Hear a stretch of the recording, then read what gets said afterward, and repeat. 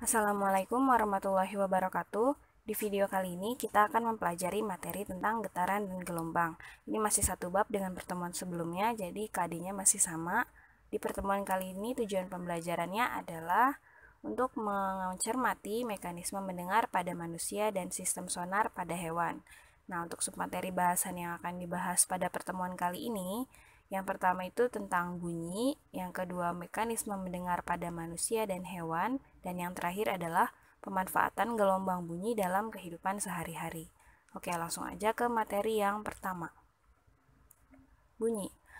Nah, bunyi ini merupakan energi yang merambat dalam bentuk gelombang. Jadi bunyi ini energi atau kekuatan yang merambat dalam bentuk gelombang. Nah, makanya dia masuk ke dalam materi gelombang karena bunyi ini adalah gelombang. Bunyi ini memiliki arah rambat dan arah getar gelombang yang sejajar. Jadi, dia ini termasuk gelombang longitudinal. Jadi, misalnya ini sumber bunyi, kemudian ini pendengar.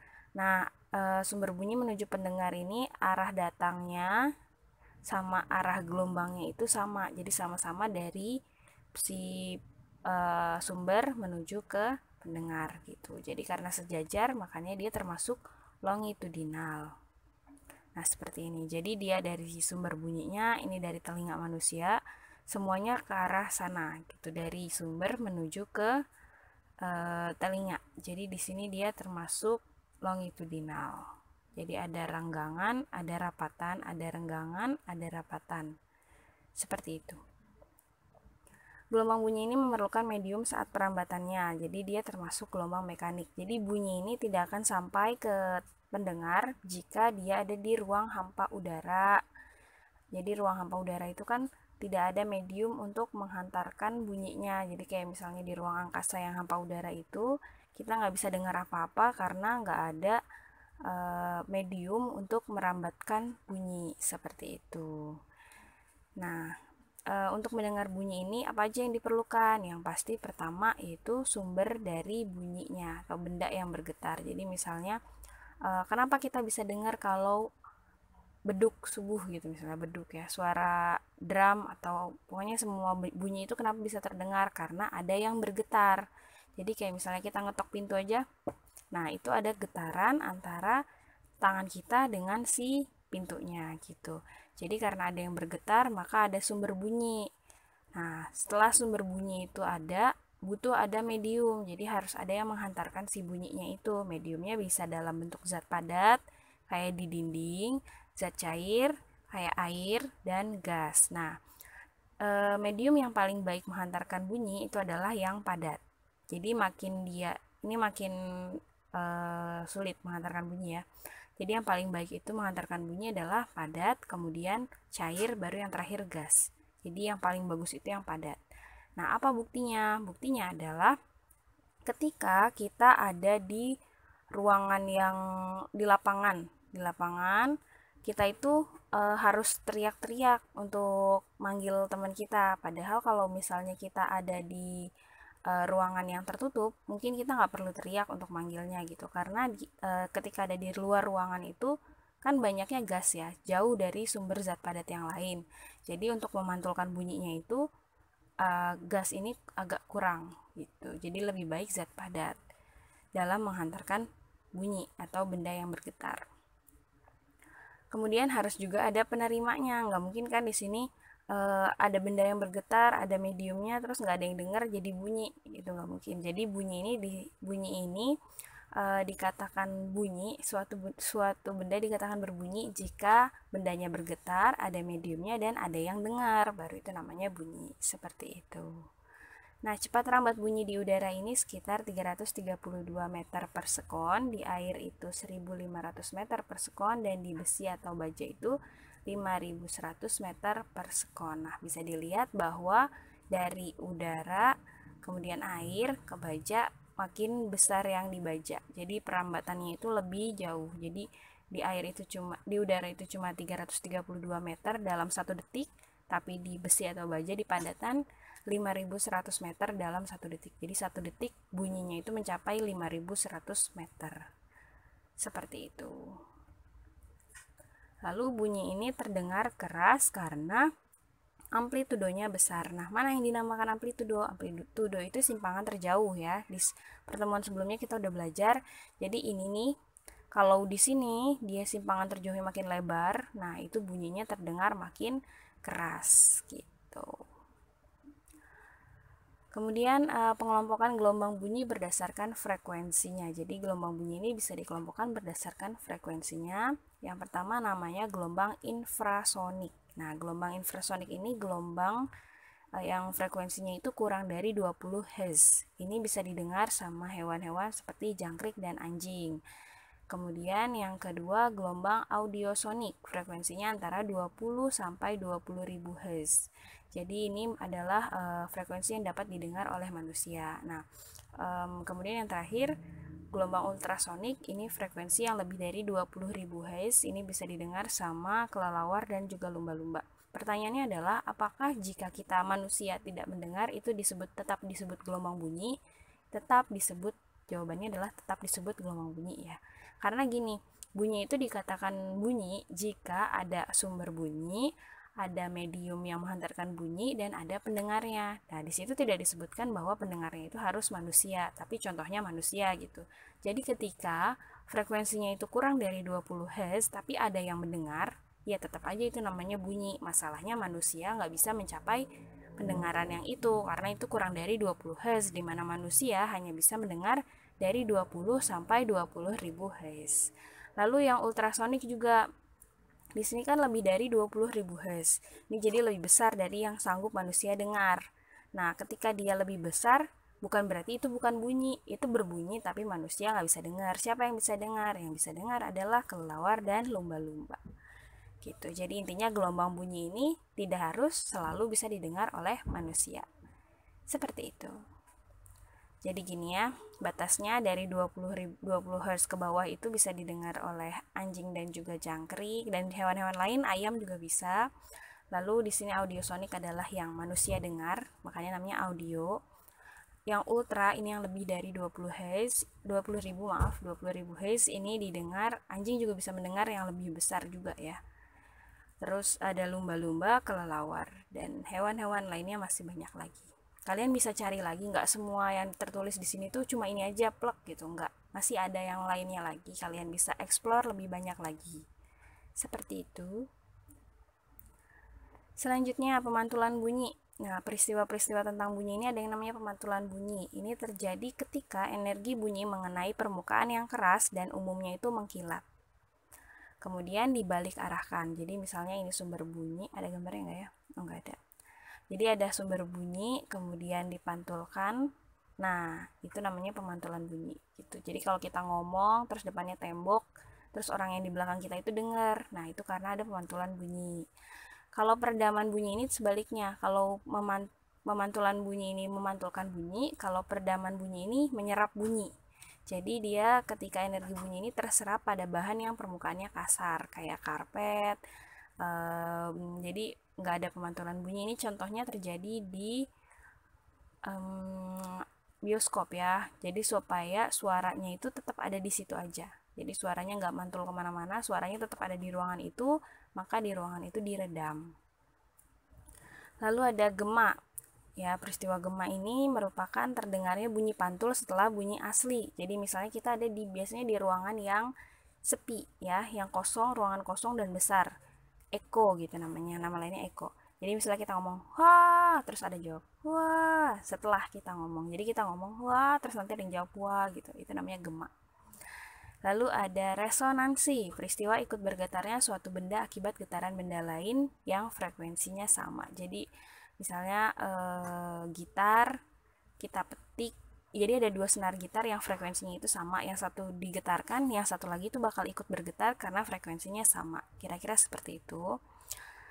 Lalu yang kelima ada pelayangan. Ini adalah peristiwa terdengarnya bunyi keras dan lemah akibat interaksi dua bunyi yang frekuensinya hampir sama. Jadi ketika dua benda e, memberikan bunyi yang frekuensinya hampir sama maka kita bisa dengar ada suara yang keras dan ada suara yang lemah Selanjutnya, intensitas bunyi. Nah, ini adalah karakteristik bunyi untuk membedakan suatu bunyi yang lemah dan yang keras dalam uh, frekuensi yang sama. Jadi, kalau pelayangan ini peristiwanya, kalau intensitas bunyi ini pembedanya karakternya jadi intensitas bunyinya ini kuat atau lemah kayak gitu jadi menentukannya itu namanya intensitas bunyi tinggi bunyi tinggi bunyi ini efek yang dihasilkan pada telinga akibat bunyi yang berfrekuensi tertentu jadi ini bunyinya terdengar uh, tinggi gitu ya nadanya tinggi seperti itulah ya Lalu kualitas bunyi ini sifat yang membedakan dua nada yang sama keras dan sama frekuensinya dari dua benda yang berbeda. Jadi kualitasnya bagus atau enggak, kualitasnya uh, suara bunyinya itu bunyinya itu kuat atau lemah, tinggi atau rendah seperti itu. Nada, nada ini bunyi yang enak didengar telinga yang berasal dari getaran yang teratur. Jadi kalau bernada itu berarti bunyinya teratur. Tapi kalau desah, ini bunyi yang tidak teratur, bunyi yang tidak enak didengar yang berasal dari getaran yang tidak teratur. Selanjutnya mekanisme mendengar pada manusia dan hewan. Nah, kalau manusia mendengarnya itu menggunakan telinga, ya kan? Nah, bagian-bagian telinga ini bisa kalian uh, lihat di sini ya. Nanti dipelajari lagi. Sebenarnya kita juga udah pernah belajar di sistem indera. Kalian nanti di ingat kembali aja boleh di pause dulu untuk lihat bagian-bagiannya apa aja nah untuk alur proses pendengarannya ini pertama ada sumber bunyi jadi ada getaran dari udara karena kan pasti dari udara dulu kan kita uh, dari benda kemudian sampai ke udara baru sampai ke telinga manusia gitu. Jadi nggak langsung dari um, kuping telinga kita ini nempel sama benda padat gitu kan nggak gitu. Jadi biasanya dari udara dulu baru sampai ke telinga kita. Jadi dari benda padat yang bergetar ke udara sampai ke telinga kita gitu. Nah e, masuk dulu ke daun telinga. Habis dari daun telinga masuk ke gendang telinga. Nah di gendang telinga ini kan e, bergetar gitu ya jadi di gendang telinga ini dipantulkan di dalam telinga sehingga masuk ke tulang pendengaran lalu dia ke tingkap jorong mana dia tulang pendengaran, lalu ke tingkap jorong, ke saluran vestibuli, kemudian saluran timpani, ke saluran koklea, ke organ korti, akhirnya dikirim informasinya ke otak. Nah, di otak ini baru diinformasi, oh barusan ada bunyi apa gitu. Nah, ini waktu terjadinya itu sangat singkat. Jadi, dari sumber bunyi kita langsung bisa mendengarkan. Misalnya saya ngomong kayak gini nih saya bicara kalian langsung dengar. Nah itu berarti prosesnya sangat cepat. Nah itulah yang harus kita syukuri. Dengan sistem alur yang panjang ini tapi kita bisa mendengar sesuatu itu dalam waktu yang sangat singkat. Ya berarti itu benar kuasa Allah. Oke. Selanjutnya mekanisme pendengaran pada hewan nah kalau hewan ini eh, kita cuma bahas untuk hewan-hewan yang ultrasonik ya jadi hewan-hewan yang mendengar dengan frekuensi lebih dari 20.000 Hz. Di sini ada contohnya adalah kelelawar dan lumba-lumba. Nah, gimana cara mereka mendengar? Terutama di hewan ini nih kelelawar. Kelelawar itu kan buta ya. Hampir bukan buta sih, hampir buta gitu deh pokoknya. Jadi dia itu kalau uh, mau terbang, ini gimana sih cara dia tahu di depan tuh ada hewan atau ada pohon atau ada tembok gitu? Caranya adalah dia memantulkan bunyi. Dia mengeluarkan bunyi. Kemudian ketika bunyi itu kan ini lancar terus tiba-tiba ada benda padat. Nah ketika tiba-tiba ada benda padat. Nah ketika ada benda padat bunyinya itu terpantul. Itu namanya sonar. Nah ketika dia terpantul dia tahu oh ternyata dengan jarak segini bunyinya dia mantul. Itu berarti di situlah ada benda. Nah, ketika dia jauh banget uh, ada pohon misalnya jauh tapi di sini jadi nggak ada apa nih kupu-kupu ya? Nggak ada kupu-kupu tapi jauh banget nanti ada pohon. Nah bunyinya tuh jauh dulu baru nanti udah jauh mantul. Nah dia baru tahu oh ternyata segitu jarak nanti ada pohon gitu. Jadi uh, itu dia yang membuat si hewan-hewan yang ultrasonik ini tahu uh, di depannya ada benda atau enggak terus ukurannya berapa besar atau enggak gitu dan lain sebagainya. Berikutnya pemanfaatan gelombang bunyi dalam kehidupan sehari-hari. Nah e, pemanfaatan gelombang bunyi ini cenderung dimanfaatkan berdasarkan fenomena ultrasonik tadi ya jadi dari hewan-hewan yang bisa e, mendengar bunyi ultrasonik Di sini ada ultrasonografi atau USG, kemudian ada pengujian ultrasonik, lalu ada terapi ultrasonik, dan juga pembersih ultrasonik. Jadi ini memanfaatkan uh, gelombang ultrasonik yang dia itu sifatnya memantulkan, ya, memantulkan bunyi atau getaran, sumber getar, kemudian dipantulkan lagi setelah menemui jarak tertentu, seperti itu. Nah, selanjutnya pemanfaatan gelombang bunyi juga yang terakhir ini adalah sonar, ya, sistem sonar. Jadi di sini sistem untuk menentukan kedalaman suatu benda, ya. Ini dimanfaatkan juga ketika ada eh, benda-benda yang tenggelam. Jadi gitu. Jadi misalnya dia mau ini kapalnya mau mencari benda yang tenggelam di kedalaman berapa sih tenggelamnya. Jadi penyelamnya itu harus e, menyelam sejauh berapa kilometer atau berapa meter, apakah penyelamnya sanggup atau enggak. Jadi ditentukan dengan hal ini kira-kira gitu. Jadi dia akan memberikan getaran atau sumber bunyi, kemudian bunyinya akan terpantulkan, kemudian balik lagi gitu. Nah, secara matematis kan ketika dia itu um, mau memantulkan bunyi, kemudian terdengar lagi ketika balik lagi kan. Jadi nggak nggak pas kayak kita ngomong gini, saya bicara langsung terdengar, tapi kalau untuk sonar sistem sonar ini terdengarnya setelah dia balik lagi. Jadi setelah terpantul baru terdengar. Nah, oleh sebab itu untuk rumusnya di sini ada bagi dua karena jarak yang ditempuhnya itu dua kali. Jadi dari sini kan terpantul dulu, jadi dikirim terpantul balik lagi. Jadi jaraknya itu dua kali gitu. Jadi misalnya bendanya ada di bawah sini, maka dia ngirim gelombang kemudian kena benda, baru terpantul. Jadi jaraknya dua kali, makanya di sini ada pakai dibagi dua.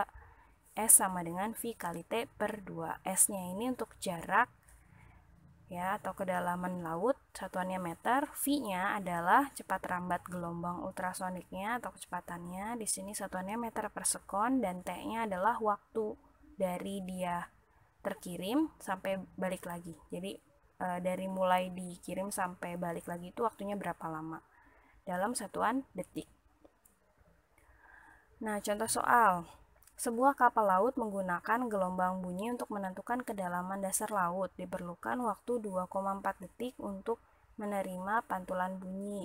Berapakah kedalaman dasar laut jika cepat rambat bunyi dalam air adalah 1500 meter per sekon? Tulis dulu diketahui. Di sini pertama diperlukan waktu 2,4 sekon. Berarti 2,4 sekon itu T-nya, time-nya. Lalu e, di sini ada cepat rambat bunyi dalam air. Ini sama seperti kecepatan ya. Jadi itu adalah V-nya. V sama dengan 1500 meter per sekon. Lalu yang ditanya berapakah kedalaman? Berarti S-nya berapa? Nah, jawab S-nya sama dengan V kali T bagi 2. Tinggal masukin rumusnya, masukin angkanya, V-nya udah ada, satuannya udah sesuai, T-nya juga udah ada, satuannya sudah sesuai, lalu dimasukin angkanya, V-nya 1500, T-nya 2,4 dibagi 2. Gini. Nah, e, tinggal dihitung, boleh seperti ini, jadi 0 yang ini menghilangkan desimal, karena satu angka di belakang koma, maka kita butuh 1 10 untuk menghilangkan desimal ini. Jadi dicoret ini. Akhirnya jadi 150 dikali 24 bagi 2 ini boleh dicoret boleh yang ini dicoret terserah hitungnya terserah kalian ini mau gimana dicoretnya. Atau boleh juga 150 kali 24 bagi 2 yang pasti nanti hasilnya akan sama yaitu 1800 meter. Jadi kedalamannya adalah 1800 meter. Nah ini kedalaman bukan jarak bolak-balik ya kedalamannya. Gitu Oke, jadi itu dia materi kita hari ini. Ini sudah selesai di bab tentang getaran dan gelombang. Semoga ilmu kita bermanfaat. Tetap semangat, jaga kesehatan. Wassalamualaikum warahmatullahi wabarakatuh.